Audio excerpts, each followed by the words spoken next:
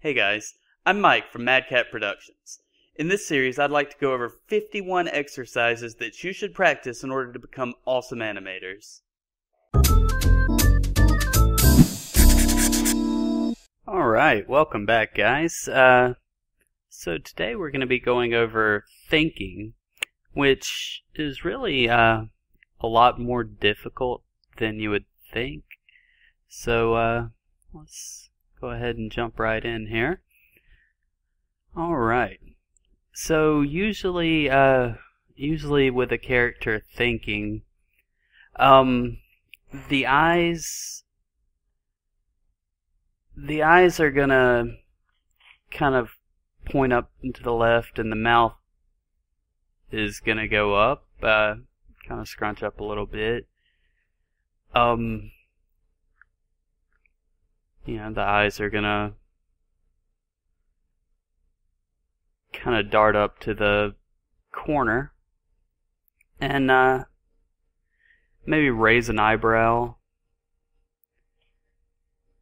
And also, anytime uh, touching the face is really good to demonstrate thinking. So, know, kind of like that.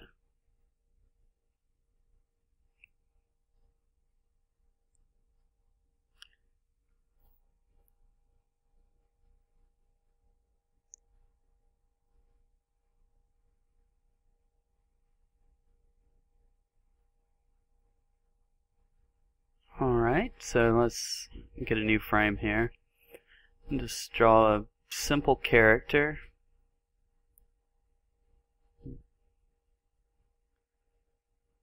There we go, that'll do.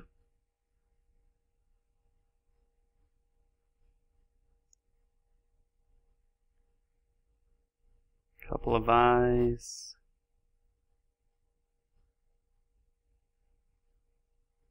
A little bit of lag going on here. Alright. And a mouth. So, go ahead and give him an ear here.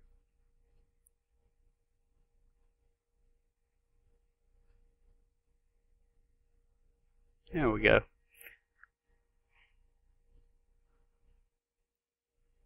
Maybe a couple of strands of hair.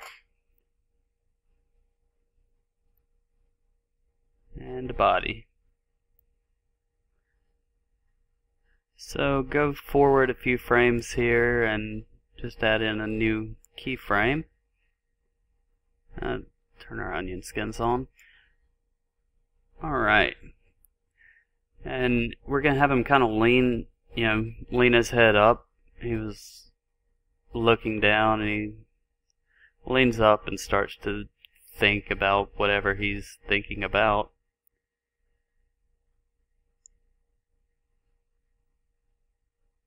And, uh, now you could do all the things at once. You could, uh, go ahead and make him touch his face, make him look up, raise an eyebrow, scrunch his mouth up. You could do all that and, you know, at once, but it, it'll look a little more I guess, interesting if you do everything as, uh, you know, kind of one at a time. One thing leads into the other. So we'll go ahead and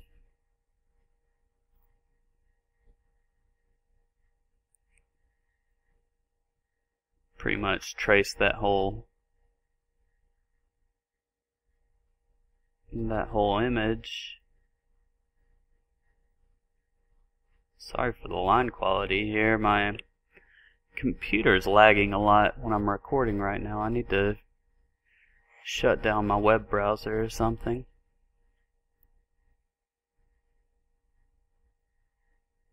There we go. Go ahead and make them look up here.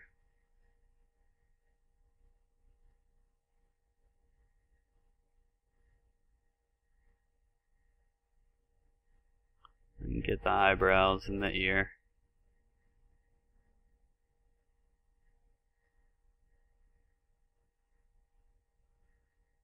There we go. Go forward a few more frames and get a new keyframe. And here we're gonna just trace over the image one more time.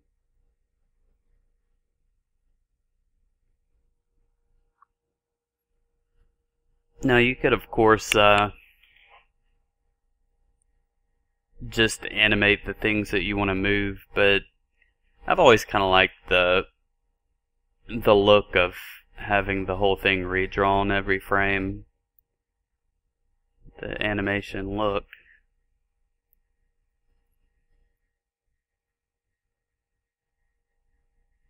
But, you know, you can do whatever whatever you want to with your animation.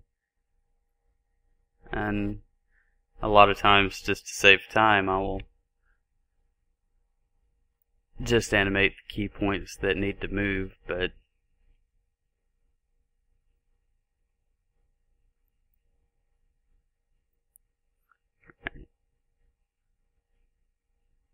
So we'll go ahead and move the mouth up here.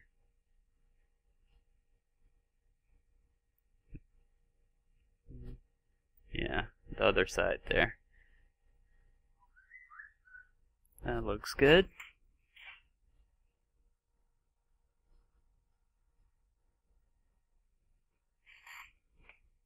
Alright, move forward and do another frame. Go ahead and have him put his finger on his chin here.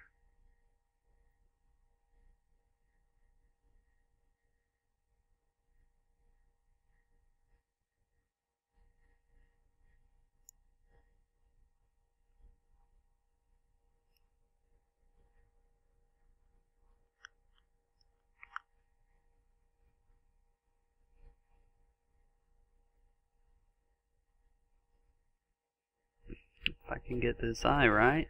Nope. There we go.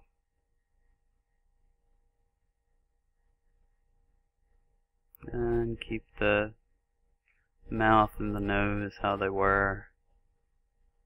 And the eyebrows. We'll raise that eyebrow very last.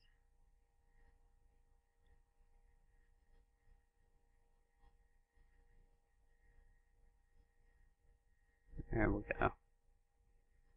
Alright. A few more frames forward. And delete. And trace over the whole image here and just raise that eyebrow up.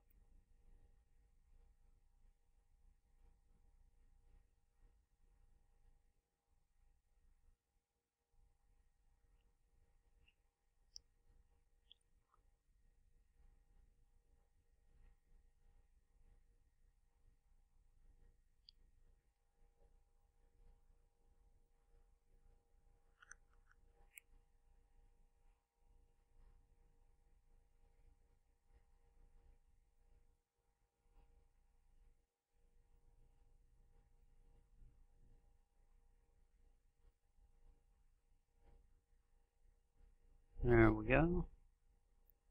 That eyebrow raised. And just trace over the nose and the mouth.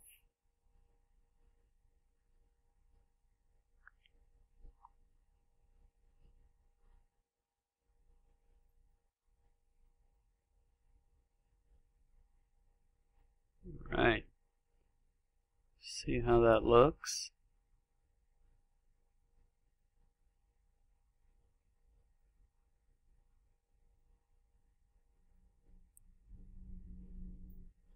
Not bad.